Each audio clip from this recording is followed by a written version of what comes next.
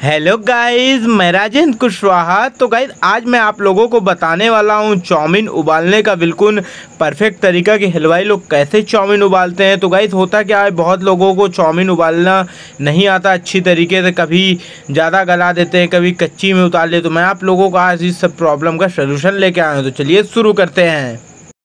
पहले स्टेप पे यहाँ पे हमने चढ़ा दिया है। एक भगोने में पानी। तो गई मैं बड़ी क्वांटिटी में उबालने वाला हूँ, क्योंकि आज मेरा आर्डर है तो मैं लगभग 10 से 12 किलो चाउमीन बॉईल करने वाला हूँ। और हम पानी का खोलने का वेट करेंगे।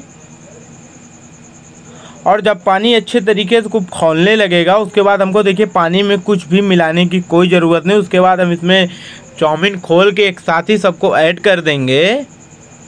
मतलब कि पन्नी से बाहर करके एक साथ ही पूरी चाउमीन को पानी में डाल देंगे और उसके बाद एक से दो मिनट पड़े रहने के बाद जब ये चाउमीन सॉफ्ट हो जाएँगी पानी में, उसके बाद एक स्टिक मतलब एक डंडी की मदद से इसको अच्छे तरीके से मिक्स करेंगे। नीचे से ऊपर आराम से चलाते हुए, ज़्यादा तोड़ना नहीं है चाउमीन को हमको, अच्छे तरीके चलाते हुए इसको मिक्स कर लेंगे। नीचे से ऊपर मिक्स करने में क्या होता है? जैसे आपने डाला और नीचे की चाउमीन आपने नीचे ही पड़ी रहने दी, ऊपर की ऊपर कर दी तो ये जो है, नीचे की पक जाएगी और ऊपर की कच्ची रह जाएगी।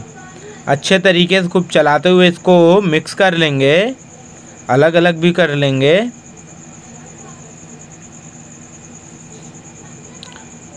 इसी सेम प्रोसेस से आप लोगों को भी करना है गाइस देखिए, मैं एक दबा के देख ले रहा हूँ, पकी की नहीं? लगभग कि देखिए, पक चुकी है। ज़्यादा से ज़्यादा वक्त लेती है, लगभग कि छः से सात मिनट लेती है पकने में। उसके बाद मैं इसी भगोने में पानी डाल दे रहा हूँ। मैंने यहाँ पे दो बड़े डिब्बे से पानी डाला हुआ है। पानी डालने से क्या होगा कि चाउमीन बिल्कुल हमारे इसका जो लार होगा, वो बिल्कुल एकदम अलग अलग हो जाएगी चाउमीन। अब नेक्स्ट यहाँ पे एक हम सूती कपड़ा लेंगे और सारी चाउमीन को अपनी हम उसी में पलट देंगे।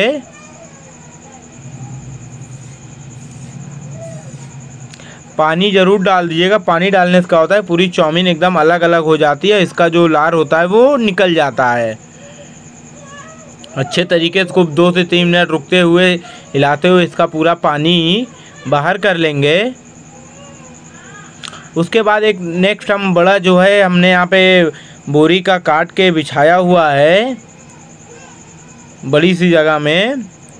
फ़ैन के नीचे ही करिएगा, ज़्यादा अच्छा रहेगा। तो फ़ैन के नीचे हम इसको, चाउमीन को फैला देंगे। उसके बाद ऑयल छिड़कते हुए इसको अच्छे तरीके से चारों तरफ़ फैला देंगे। मतलब ये अच्छे तरीके से ठंडी हो जाए। और ऑयल आपको खूब अच्छे तरीके से देखिए लगाना है। मैं यहाँ पे छिड़काव कर रहा हूँ ऑयल का। रिफाइंड ऑयल ही लगाइएगा इसमें। अच्छे तरीके से चलाते हुए इसको खूब झरिया लेंगे।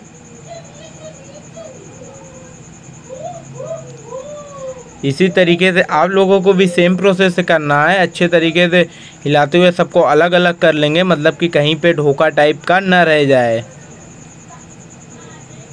तो लगभग देखिए गाइस ठंडी हो चुकी है चाउमीन हमारी। मैं आप लोगों को हाथ से करके दिखला दे रहा हूँ। बिल्कुल अलग अलग हमारी चाउमीन है। बिल्कुल देखिए कितनी बेहतरीन हमारी चाउमीन उबल के रेडी हुई है।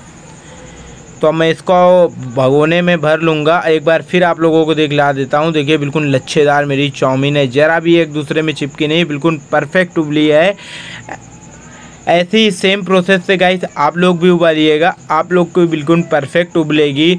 आज का वीडियो अगर आप लोगों को अच्छा लगा हो तो वीडियो को लाइक करना ना भूलिएगा और चैनल को सब्सक्राइब ज़रूर कर लीजिएगा, क्योंकि मैं आप लोगों के लिए ऐसी अनोखी अनोखी रेसिपी लाता रहता हूँ और ब्लैक बेल आइकन भी ज़रूर क्लिक कर लीजिएगा, क्योंकि मेरी सबसे पहली वीडियो की अपडेट आपको मिल जाए। बाय गाइज़ मिलते हैं नेक्स्ट वीडियो में।